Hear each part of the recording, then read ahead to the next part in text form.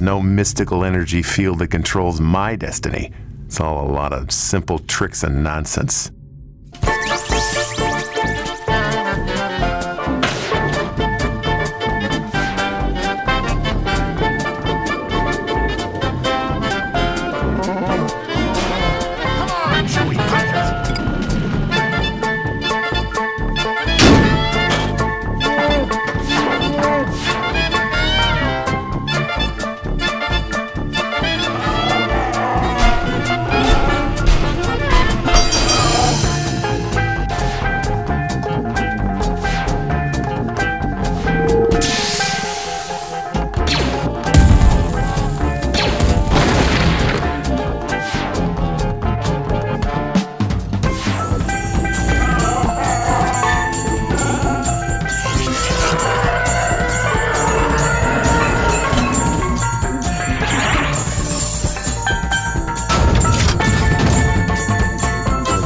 Oh dear.